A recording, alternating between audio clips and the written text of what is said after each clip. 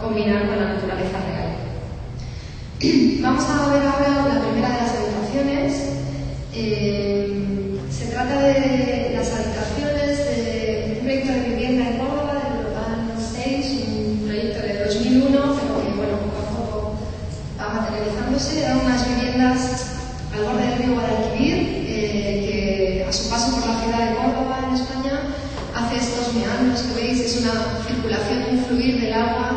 muy eh, característico, con concentraciones, dilataciones, eh, pasos rápidos, lentos, etc. Y la idea principal de este asentamiento de viviendas era que el plano del suelo, la relación con el río, se mantuviera esa imagen de estar sentado al borde del agua y que las viviendas estuvieran arriba, como en las copas de los árboles, ¿no? como si fueran nidos, digamos, de los que se podía mirar. Así que los edificios que se plantearon eran estos edificios entrelazados Debéis imaginarlos con árboles entre los huecos de, estas, eh, de estos edificios. Y propiciaban que la gente también pudiera recorrer mediante rampas las distintas eh, terrazas, de manera que la orilla del río se convertía en algo tridimensional y digamos que se podía vivir en las copas de los árboles y mantener a la vez la orilla del río libre. ¿no? Este era el plano concurso, un plano ya muy antiguo, eh, que, en el que vemos cómo los edificios van propiciando un tejido continuo. Eh, el mapa que vimos al principio era el mapa de esta ordenación. Eh, este mapa, que es como el de la materia impalpable, se superpuso a las ideas arquitectónicas y se trabajó todo el tiempo con ello hasta la ordenación final, que está en vigor ahora mismo, eh, aprobada en, en el planeamiento y que daba esta ordenación con estos edificios que os comentaba entrelazados. ¿no? Lo que interesaba en esta ordenación eh, para las nuevas viviendas era que esa realidad se siguiera entendiendo como una realidad dinámica, el taller es Touch and Go Reality, una realidad inestable, y esta tabla eh, eran como las reglas de juego, las instrucciones, el manual de instrucciones, de cómo unos edificios se podían relacionar con otros. Cuando uno se colocaba, el otro tenía que estar en unas distancias concretas, relacionado con la vegetación, etc. Sin entrar en mucho detalle, deciros que igual que, por ejemplo, los bailarines improvisáis con determinadas herramientas coreográficas, aquí pasaría algo parecido. Es una realidad que se construye con determinadas órdenes, pero que no tiene una foto fija final, sino que se establecen más bien unas relaciones entre unas piezas y otras. Eh, aquí, por ejemplo, se marcaban las áreas del movimiento de los edificios que podían tener, las posibles relaciones topológicas de unos con otros, las distancias, etc. Y este tejido era el que se, se mantenía. ¿no?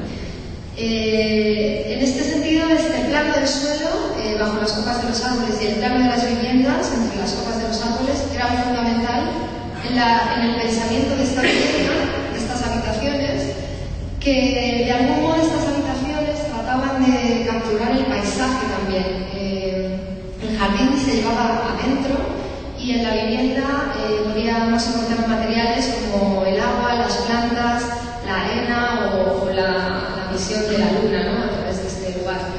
Lo que en estas habitaciones era importante es que frente a muchas de nuestras viviendas actuales en las que solamente hay un plano, una única planta, aquí la relación topológica del cuerpo se intentaba ampliar, es decir, estar arriba mirando hacia abajo o estar desde abajo mirando hacia el cielo, etc. Ampliar esas posibilidades. Estos son los, los planos de esas que había siempre una parte de la vivienda más o menos convencional, digamos que se accedía por esta galería, había un pequeño, dos escaloncitos con un pequeño cambio de coca que permitiera no estar al mismo nivel y tener una entrada de luz eh, justo por la galería. Y esta parte de vivienda podía ser convencional, es decir, un baño, eh, un mueble que condensaba, por ejemplo, camas o la cocina, etc.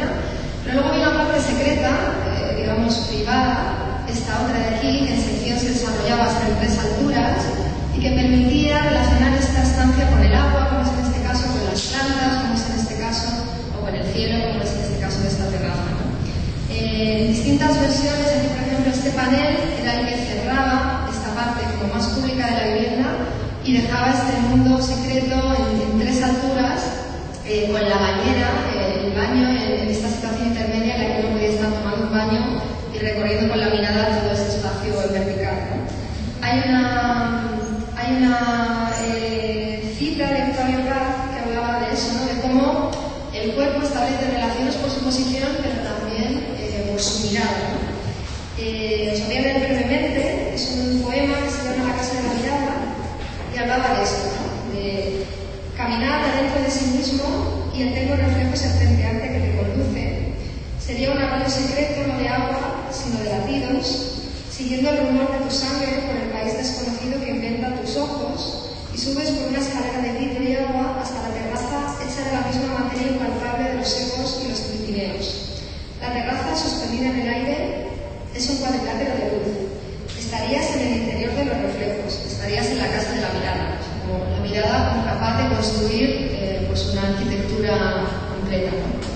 Eh, estos mapas del principio con respecto a las habitaciones eh, son algunas de estas habitaciones. Aquí vemos una de ellas hemos visto girada, la de la terraza y cómo íbamos dibujando los, los eventos que iban ocurriendo en ese lugar. vamos a ver otro jardín más ahora. Veis que poco a poco entre jardines y habitaciones vamos a ir construyendo un poco el discurso. Este era un parque a desarrollar en Córdoba también, en un área que ocupaba un antiguo canal de agua eh, que cruzaba la ciudad, lo estoy señalando ahora mismo, y al que se le anexionaban distintas bolsas de otros parques. Y bueno, Córdoba, la Córdoba española, está en el sur, hace muchísimo calor y digamos que el sol es el principal eh, material de trabajo que había en este lugar. Eh, aquí vemos cómo el parque atravesaba la zona urbana, que estaba en rojo, y cómo distintas actividades, no voy a entrar en ello, pero se iban desarrollando ya de forma espontánea en este canal. Actividades que la gente eh, decía, pues como montar a caballo, bicicleta, etc. Pero lo que nos interesaba era, y este jardín se basa sobre todo en eso, en el tacto, en qué texturas están en contacto con el cuerpo y cómo se puede construir un espacio público a partir de esas texturas y sacar esas texturas del sol que iba a ser el principal protagonista de este lugar. El sol nos proporcionaba eh, materiales como el color, la luz, el reflejo, el brillo, la sombra, la temperatura, de manera que las especies vegetales que escogíamos las clasificábamos según esos aspectos, el color, la luz, la sombra, el brillo, etc. Y también una serie de dispositivos que interaccionaban con el cuerpo eh, se, conectaban directamente con la presencia del sol en el cielo o su ausencia. Que de día podían dar algo de sombra, eh, capturaban la energía solar y por la noche eh, se convertían en luminarias. ¿no? O igual estos cubos luminosos existentes en una casa concreta de iluminación que igual mediante una pila capturaban la energía del sol y la devolvían por la noche nos interesaba pensar en distintos lugares estanques para bañarse, etc., en las diferentes eh, luminosidades del día, ¿no? en el intenso calor del mediodía o la noche, etc. Eh, todos los materiales se construían, que uno podía tocar, esta persona aquí sentada,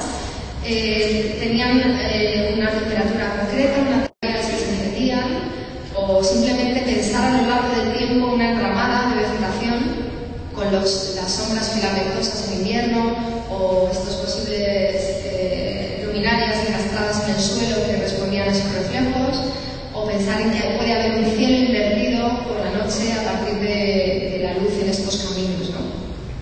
Eh, igualmente esta relación con el cielo que hemos visto también en el jardín suizo eh, estaba con estos relojes neumónicos, estos relojes de sol que marcaban la posición de, de la estrella solar, de la estrella polar. Entonces, en ese sentido, todo lo que era antes agua, el canal, se convertía en un camino, en un parque que se podía habitar, que, que digamos, intensificaba esta relación táctil con el paisaje. Eh, esta relación entre lo que el cuerpo puede tocar y el, y el, panorama lejano se articulaba a partir de este patrón, que era la huella de las curvas analémicas, que son sol a las 12 del mediodía en cada año, cada año es distinto. Eh, y estas curvas analémicas nos permitían, en tres escalas distintas, organizar como ámbitos en, en ese lugar. ¿no?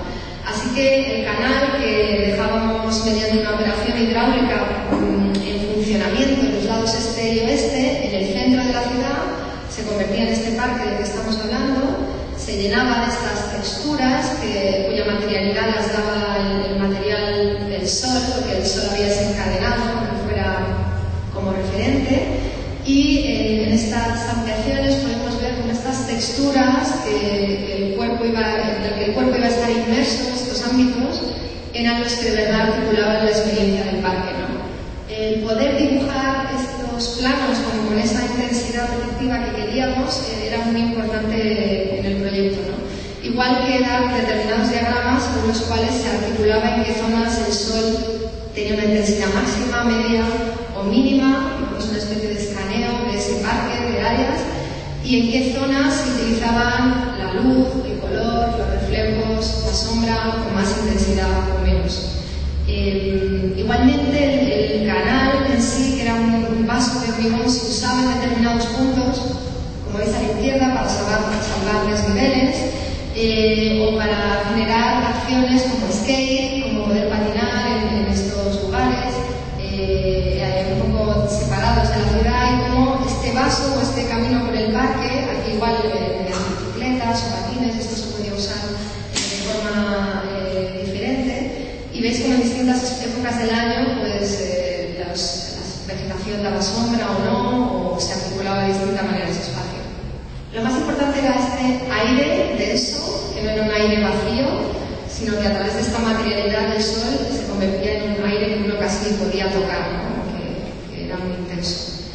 Em, la siguiente eh, habitación, o el siguiente grupo de habitaciones se desarrollaba en Murcia, en, este, en estas antiguas canteras, es un área minera, eh, y esta coloración del lugar, toda esta experiencia táctil de la que veníamos hablando en el parque anterior, eh, se registra en, esta cartografía, en este mapa que ves ahí arriba, en el que se registran todas estas texturas diferentes. Esas texturas junto al clima, las condiciones climáticas, articulan este conjunto de viviendas en el que se hablaba de una serie de deseos espaciales, como el deseo asociado a la imaginación, eh, como el deseo de vivir en el mar, o el deseo de vivir dentro de un arco iris, o, vivir en un jardín, eh, los veis aquí abajo a la derecha.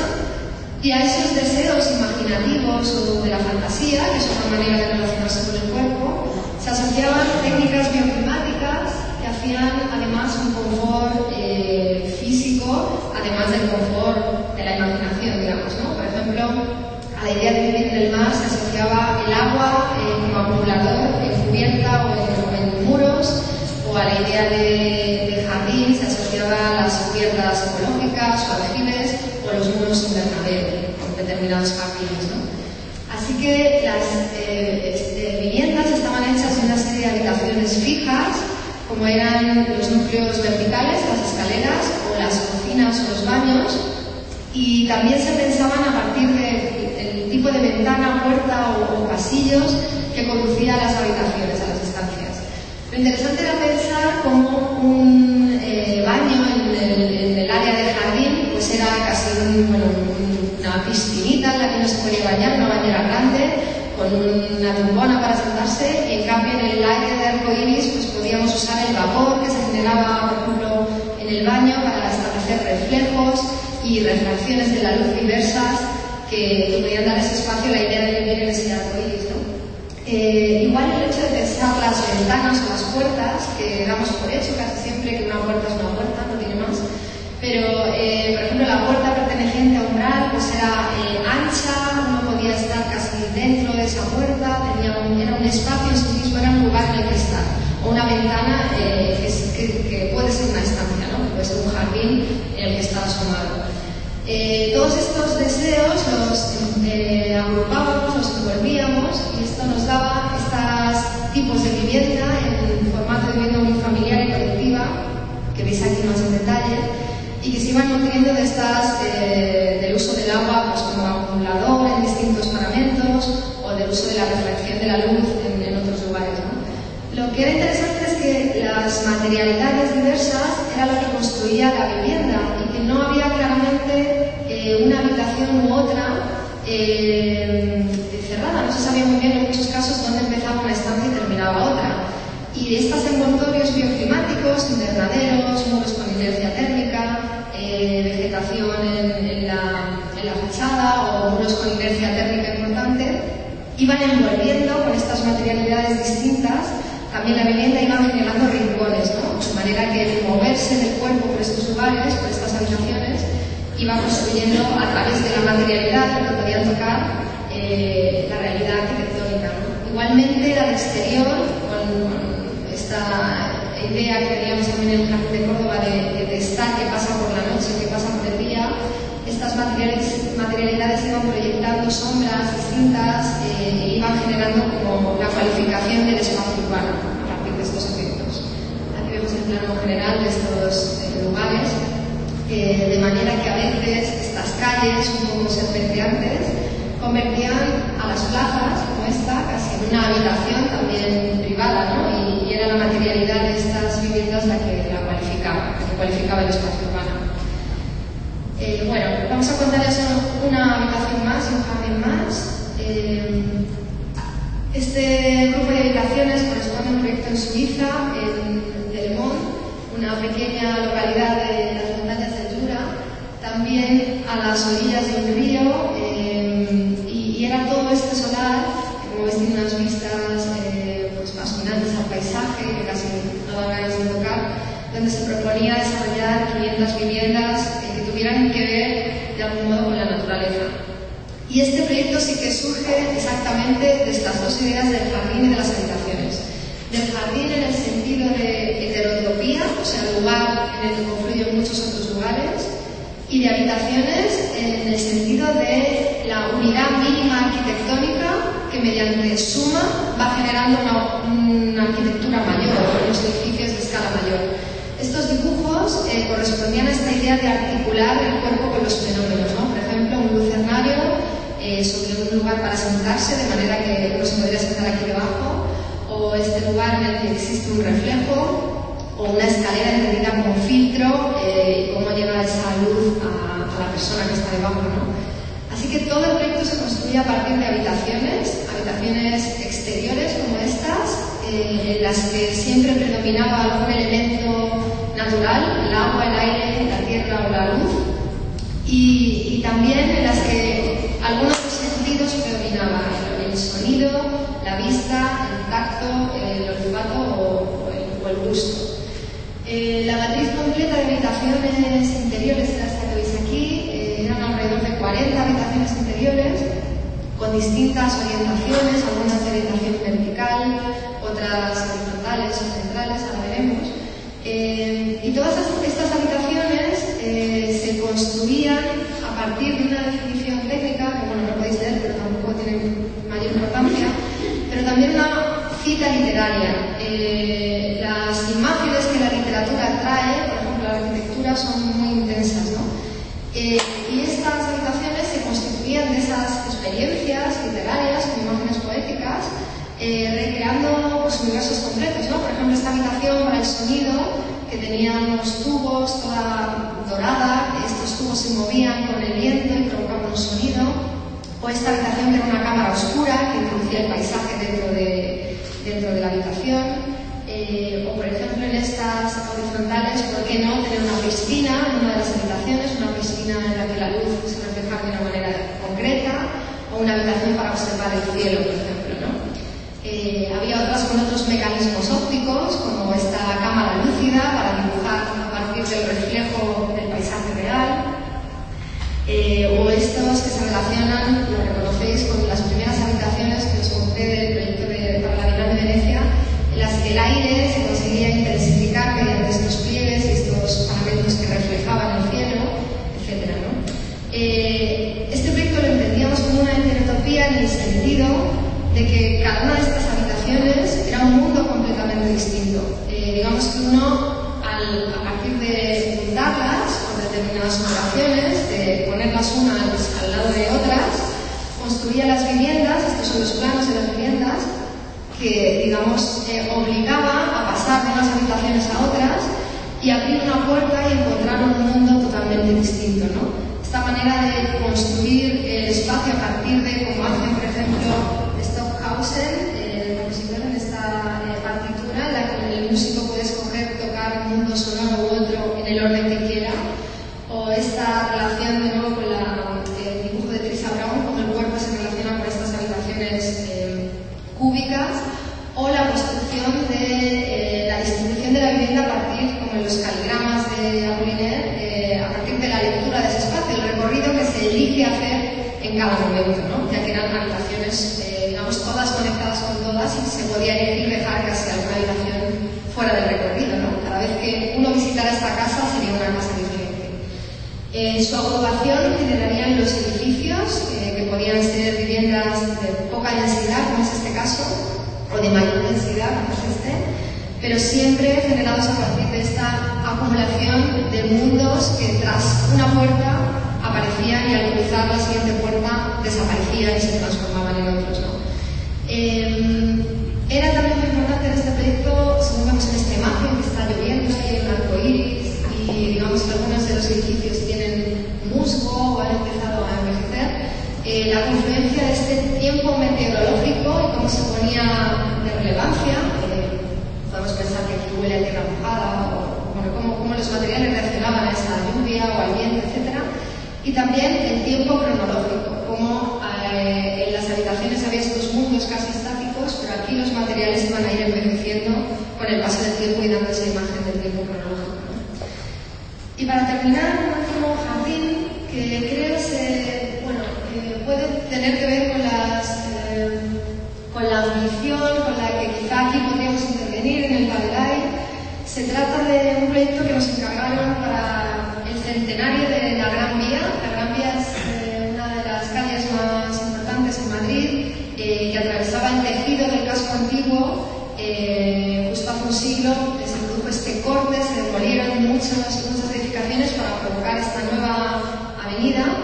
Nada que ver con la escala de nuestras avenidas, pero bueno, está una de las calles más principales. Este es el edificio España, la Plaza de España, para los algunos que han visitado alguna vez nunca. Y se nos encargó en el tramo desde la Plaza de España hasta la Plaza de Callao, que está por aquí, aquí lo vemos en plano aéreo, eh, hacer un proyecto de intervención en el que trabajáramos con la atmósfera. Se nos pedía que nuestro eslogan fuera Gran Vía Atmosférica y de qué manera podíamos trabajar con la atmósfera en este lugar. Como veis es un lugar existente, lleno de edificios eh, y perfecto uso y esto lo teníamos que entender como un lugar para intervenir, igual que vamos a hacer aquí en el Padre. Eh, bueno, no voy a entrar en estos estudios que hablaban de qué llenos y vacíos había en el lugar, qué, cubiertas eran planas o inclinadas, qué parques públicos había en la zona, eh, etc. Eh, estas eran las distintas alturas de las edificaciones, podíamos encontrar así en las cubiertas algunas zonas planas en las que apoyarnos construir algo. Y lo que más nos interesaba era ver este, eh, este panorama actual de las atmósferas que había en esta, en esta calle. La Gran Vía es una calle que sería como el lugar de los cines y los teatros, hay más cines y teatros concentrados eh, eh, en Madrid y todas, todos estos cines y teatros tienen marquesinas luminosas eh, que intentan llamar la atención. ¿no? Aquí lo veis un poco marcados en el plano de, peatón, qué superficies luminosas o, o, que interactúan a nivel atmosférico con el viandante encontramos. Entonces, eh, contábamos con este material que hablaba de las atmósferas existentes en la calle. Luego contábamos también con que la Vía siempre había sido como el área de la innovación por excelencia en Madrid. ¿no? Todo podía ocurrir en la Gran hasta el Gran Zeppelin sobrevolándola y afectando a todo lo que ocurría debajo. ¿no? Entonces, esta atmósfera de la memoria, en la que en la memoria de todos los madrileños está esta idea de que en la Gran Vía todo puede suceder, eh, nos interesaba también conservarla ¿no? como, como, material de trabajo. Eh, igualmente había atmósferas perdidas. Este era un antiguo edificio que hoy día está muy transformado, el, edificio para el Banco Popular, que tenía este muro cortina de cristal y esa escalera que subía eh, a este muro de cristal. Y este, este edificio se había perdido, se ha transformado y nos interesaba conservar esta atmósfera relativa a la transparencia. O, por ejemplo, otro solar que teníamos en, el tramo, en estos momentos en construcción, después de una demolición, donde en su día estuvo el primer cine de sesión continua, el cine actualidades, el primero en el que la arquitectura del edificio eh, revelaba que el cine, la sala era lo más importante, ¿no? Es que casi todo es sala, no hay otra cosa, nada más que eso. Y esta especie de sesión continua de las proyecciones que creaba atmósferas una detrás de otra muy diversas en el corazón de la ciudad, nos interesaba también eh, trabajar con ello como atmósfera existente y perdida en esta aplicación concreta. ¿no? Entonces aquí donde este interés por trabajar con mapas, cartografías, este interés por fijarnos en cómo los bailarines también notan, dibujan el espacio, o otras disciplinas como los músicos que a través del tiempo eh, son capaces de mapas, nos sirvió para producir el proyecto. Eh, el proyecto que hicimos eh, era un jardín de atmósferas en el que tenían cabida tanto las existentes como las perdidas, las de la memoria, como las nuevas y autóctonas que nosotros vamos a proponer. Este mapa lo veremos más ampliado al final, pero deciros que cada una de esas cajas es una atmósfera que habíamos detectado eh, y que nos interesaba dibujarla para saber su ubicación, sus características y luego ir incorporando las atmósferas nuevas que nosotros queríamos incorporar. Este es el mapa final con todas las atmósferas, pero que tengáis en la, idea, en la, cabeza de la imagen, eh, que este mapa sirvió para hacer el proyecto, ¿no? para, trabajar con este material intangible que eran las atmósferas. Eh, realizábamos cuatro atmósferas nuevas que, son, que están ubicadas en estos lugares y las atmósferas tenían nombres de naturalezas imposibles esta idea de que la Gran todo podía seguir pasando. ¿no? Así que teníamos un mar sin horizonte, un cielo líquido, unas cimas cristalinas de una montaña nómada y una nube de espejos. Si empezamos por la primera, el, mar, el cielo líquido, eh, es la, la, atmósfera que recogía esta atmósfera perdida, ¿no? este muro cristalino que llevaba mediante esa escalera a, la parte de arriba del edificio. Hoy día el edificio es no tiene nada que ver. Y la idea era volver a transformar este edificio en, ese muro cristalino, esos tubos de vidrio que llamábamos lluvia sólida, una lluvia hecha de tubos de vidrio que ocultaba o que soportaba una escalera, de manera que la calle, la gente, los viandantes, podían en un momento desplegar su recorrido de forma tridimensional irse asomando a distintos lugares de la calle, de la Vía, hasta llegar a la cubierta. Veis aquí el desarrollo de estas escaleras antes. Y en la cubierta, pintando de negro eh, la cubierta y convirtiéndola en un estanque, eh, teníamos un espejo que reflejaba el paisaje de los edificios elevados de la Gran Vía y el cielo, ¿no? Una plataforma de observación para un observador que estaría rodeado de este paisaje de reflejos, ¿no? Este cielo líquido. Em, la idea era que estos nombres, como de lugares imposibles, eh, hicieran referencia a nuevos eh, lugares públicos, espacios públicos. ¿no? Aquí lo veis muy bien cómo eh, realmente esta nueva atmósfera parasitaba el edificio, nos podíamos hacer incluso con algunas plantas, colonizar algunas plantas del edificio existente y desplegar esta calle, esta experiencia de pasear en tres dimensiones y descubrir un paisaje nuevo. ¿no? Como veis aquí el edificio existente se utiliza como solar, no lo puede transformar y subir encima. Y esta es la imagen de esta, de esta lluvia sólida, ¿no? este lugar en el que nos puede meter dentro eh, y llegar hasta esta cubierta. Esta es la primera de las atmósferas, la segunda se situaba en el antiguo mercado de Mostenses, un mercado que sigue ahora mismo en uso, que en su subsuelo tiene un parking. Eh, dábamos una nueva entrada a este parking un aparcamiento que en el subsuelo, mediante este, esta especie de cueva hecha de cristales de colores, de vidrios de colores, que según entraba la luz del sol tenía de un color toda esta cueva, digamos, distinto en cada hora del día y cada época del año.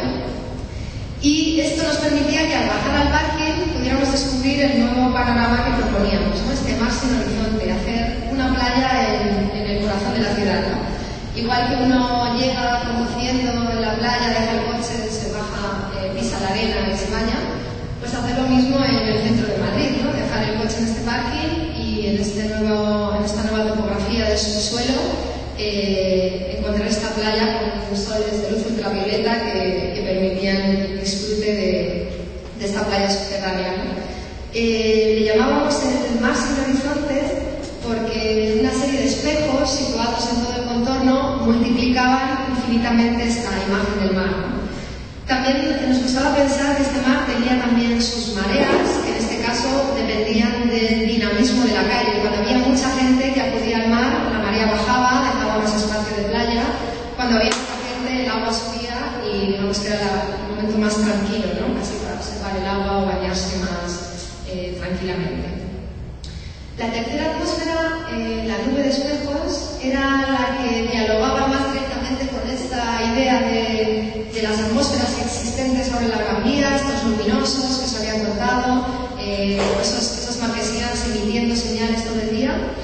y estaba hecha de espejos, múltiples espejos eh, colgados mediante cables que iban a interactuar con los viandantes y con los coches, con los vehículos, construyendo imágenes en tiempo real. Es decir, cada viandante, este, por ejemplo, iba a tener una serie de reflejos muy distintos de los de este y iba a ir provocando una construcción y deconstrucción en tiempo real de la imagen de la calle. Veis que hay zonas en las que los espejos desdibujan y llevan el cielo en el medio, al medio del edificio y otros que construyen el edificio en mitad del cielo. Eh, por la noche eh, imaginábamos estos espejos igual reflejando en multitud de, densidades con las luces de los cines y del resto de, de efectos atmosféricos que ocurrían. Y la última atmósfera es la de las cimas cristalinas de la montaña nómada. Ocupaba justo el solar del antiguo cine de sesiones continuas, del cine actualidades, y recogía esta imagen del Graf Zeppelin, un elemento suspendido que emitía señales hacia abajo. ¿no? Entonces situábamos este edificio aparentemente en flotación, en realidad no lo está, pero eh, daba ese efecto, algo misterioso porque tiene un muro alrededor digamos, impide que el viandante vea exactamente lo que pasa dentro. Y dentro empezamos a desarrollar eh, pues, con esta idea de que todo era posible, como, eh, con esta idea de que en las películas todo puede pasar, en este lugar donde estaba el cine. Había un montón de atmósferas eh, que se sucedían con elementos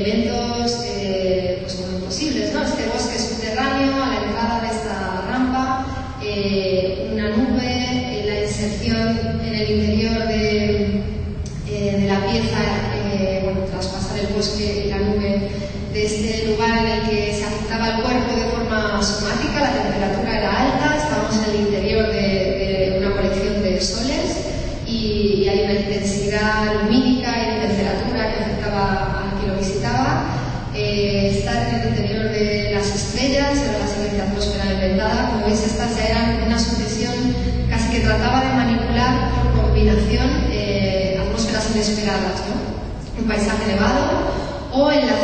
justo lo, lo que argumentaba todo el recorrido eran estas campanas cristalinas insonorizadas, la Gran Vía tiene un ruido permanente, es una calle que a las 3 de la mañana pues está viva, llena de atascos y, y de claxon eh, tocando, pues observarla desde arriba como cuando uno escala una montaña y arriba está el silencio, eh, observarla desde arriba en silencio era el efecto que se quería provocar, ¿no? O combinar la imagen del movimiento de la calle con un sonido, pues, por ejemplo, de una música que se tocara en ese momento, pero desconectado del movimiento real.